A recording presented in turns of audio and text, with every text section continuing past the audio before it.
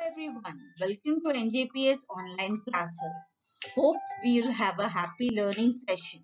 And one more thing, if you like the content, please do subscribe. Today children, we are going to learn about railway station. Who doesn't like to sit in a train and travel to various places? So let's learn about railway station. Children, first we will know about different types of train. The first type of train is the goods train. Goods train is used to move different kinds of goods from one place to another. The second train is the passenger train. We use passenger train to travel to different cities and villages. The third type of train is the metro train. Children, metro is used to travel within city. To travel within short distances, metro train is used. Another train which is used uh, is the local train. Local train is also used like metro train to travel within city. And the last one is the tram. The tram is a train where you travel within city but at shorter distances.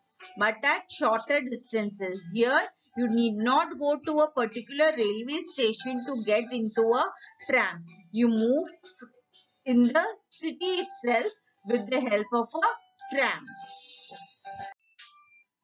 Children, now let us suppose we are traveling from one city to another. Now, when we reach the railway station, the first person we see is a luggage carrier or a coolie. Can you see over here a person dressed in red coat who is ready to carry a luggage from one place to another? That person is known as a coolie or a luggage carrier. Next children, we then go to the ticket counter. We go to the ticket counter and we either book the tickets for a specific train or we buy the platform ticket. Then children, once we book our tickets, then we enter the railway station and we check the electronic display board. Can you see over here? There is a display board where train numbers, train names, then the timing of the trains as well as the platform number is mentioned. Yes, we check our train is coming on which platform number and then we start moving towards the platform. Before we get inside the platform, children, what happens? Our luggages are checked at the luggage counter. The luggage counter is where we check our luggages.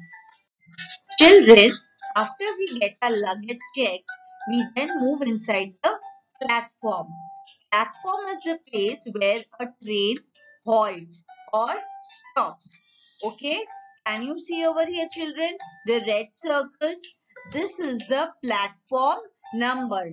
At a railway station, there are many platforms and each platform is given a specific number like 1, 2, 3, etc.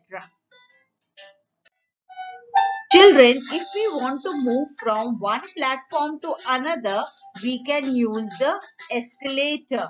Can you see over here the circled escalator? Yes, we use the escalator to move from one platform to another.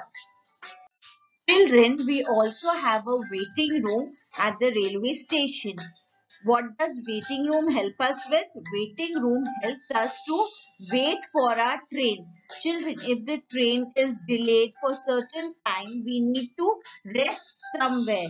That is the waiting room which we use to rest. Children, there is also a cloak room available at the railway station. And what does it help us with? It helps us to keep our luggage safely if we want to go somewhere else. Okay. If we want to go somewhere else for supposedly half an hour and we don't know where to keep our luggage safely, then we can always go to the cloak room and deposit our luggage over there for some time.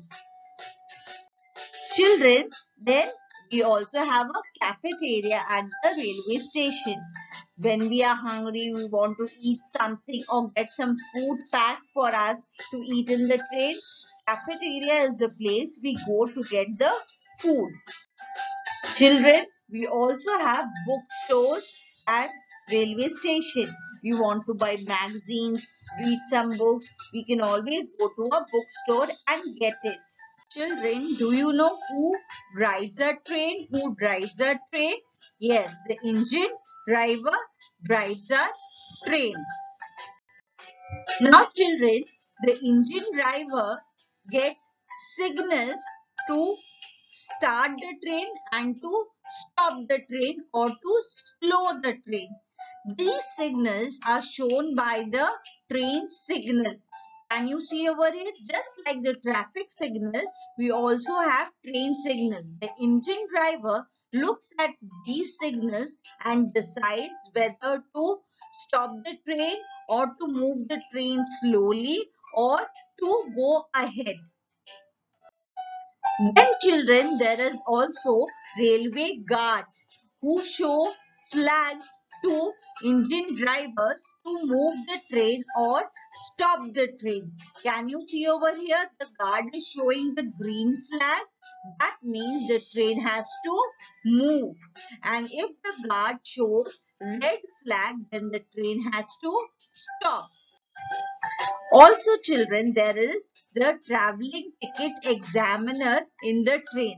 The ticket examiner checks whether we are carrying a valid ticket to travel in the train uh, and whether we are seated in the right seat. Traveling Ticket Examiner or TT. Thank you. Hope you all enjoyed the video. Please do subscribe our channel.